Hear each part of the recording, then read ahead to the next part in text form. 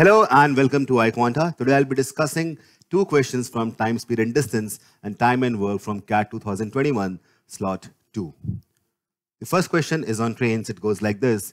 Two trains A and B were moving in opposite directions, their speeds being in ratio 5 is to 3. Now, when two objects are moving in opposite direction, there are two cases. One, they are moving away from each other. Other, they are moving towards each other. That is something which we have to crack based on further information. Then it says the front end of A crossed the rear end of B 46 seconds after the front ends of the train had crossed each other. So front ends of train have crossed each other. That means they are moving towards each other. That is the only, only way they can cross the front ends. All right. Okay, so let us do one thing. First of all, we have, we have come to a conclusion that trains are moving in opposite directions towards each other and their speeds on the ratio 5 is to 3. So we can assume their speeds to be 5k and 3k each and the relative speed will be sum of these speeds because they are moving in the opposite directions. This will be actually the relative speed. Let that be S. All right.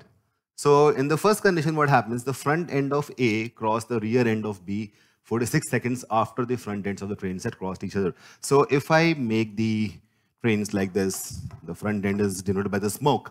This is train, train A and let this be train B. So what is happening? As you can see, the front ends are crossing each other. So from this point, and then what happens? Front end of train A crosses rear end of train B. Now, this is how train A would be placed now. So as you can see, from this position to this position, how much distance has train A traveled? Train A traveled. So it is basically the distance, the length of the train B.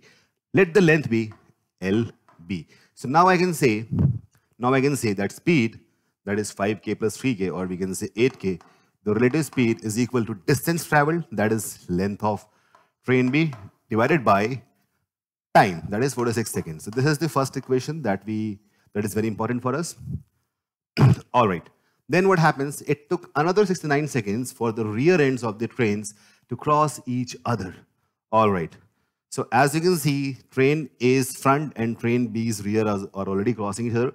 And then train A moves further and the rear ends, this is the rear end of train A, rear end of train B, they are crossing each other. So from this position to this position, train A has traveled its own distance. That means we can say the speed is equal to length of train A upon 69. We have two expressions now. All right, as we can see, the speeds are equal, 8k. We can equate both the, both the expressions. Equating the right-hand side, LB upon 46 is LA upon 69. What do we get? LA upon 69 is equal to LB upon 46. So we can say LA upon LB is equal to 69 whole upon 46. We can divide this. We get 3 is to 2. 3 is to 2 should be the ratio of length of train A to that of train B. We'll mark option 4.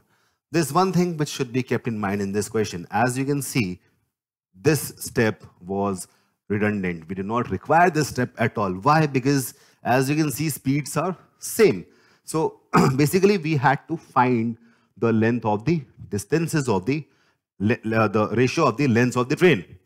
All right, and length is basically distance, nothing else. So, and time was already given.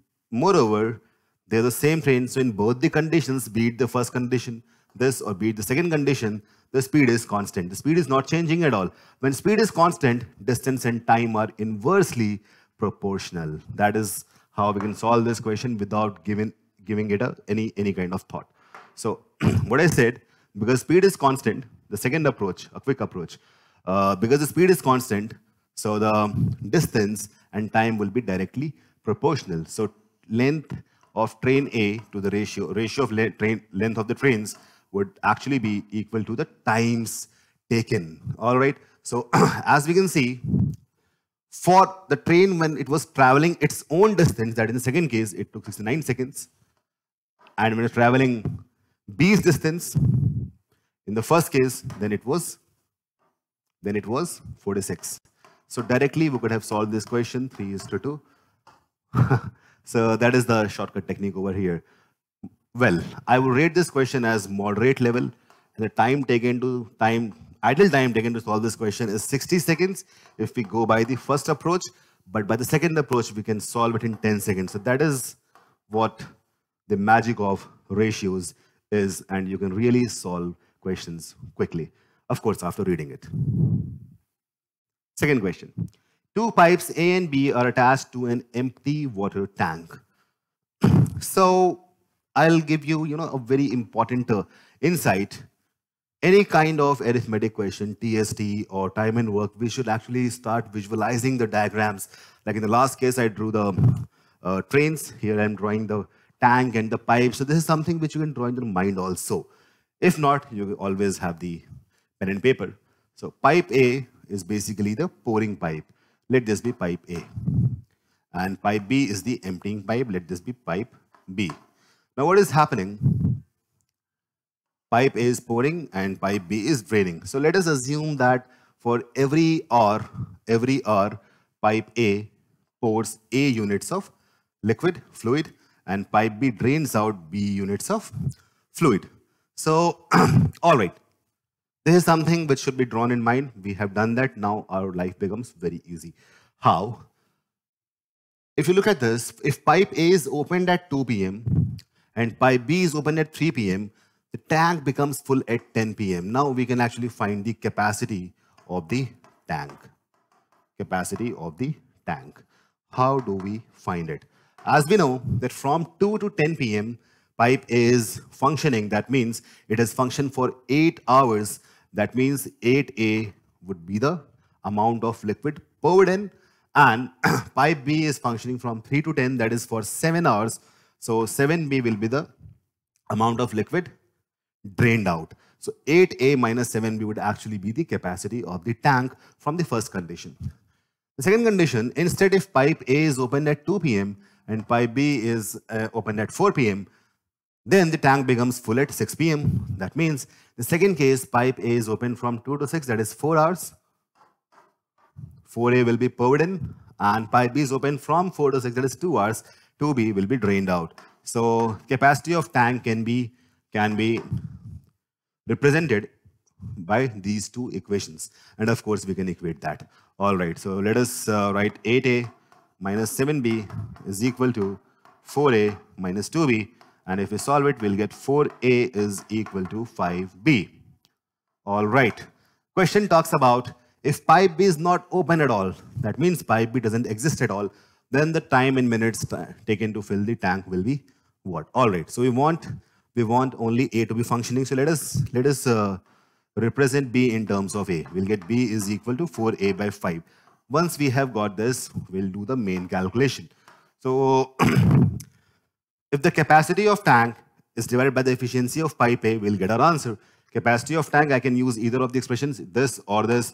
Let us use the first one. So 8A minus 7B upon A should be our answer. Capacity of tank divided by the efficiency of pipe A. Let us put the value of B in terms of A. What do we get now? Okay, we'll get we'll get 8A minus 7 times 4A by 5. That is 28A by 5 whole upon a. As you can see, a can be taken common and it can be cancelled. 8 minus 28 by 5. If you solve this, you will get 12 upon 5 hours. It's 12 upon 5 hours. The question talks about minutes. So, 1 hour contains 60 minutes. That is a common knowledge. 12 upon 5, if I multiply it by 60, I'll get the answer in minutes. That is 144. We'll mark option 3. And that is how we can solve this question just by a bit of calculation. I would rate this question as moderate level and time taken to solve this question should not be more than 60 seconds. In both the questions, the main point that you should learn is try to imagine because that will take you places. Thanks.